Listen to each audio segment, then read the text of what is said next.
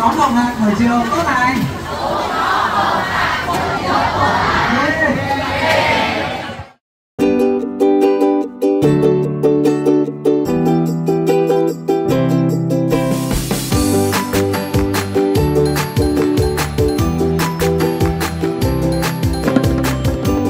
Yeah. và khám phá. Nhiều địa điểm chưa đến cho em cảm giác rất là vui kiểu trải nghiệm mới ạ. Giống trong uh, trong chuyến uh, đi tham quan ở chùa Ba Vàng. Nói đúng hè này ạ. Hôm nay là một thành tích đáng nhớ. Đúng rồi, ngày, ngày đầu tiên đâu á Thế rất là vui. Vui à? Hả? Vui à? Thấy.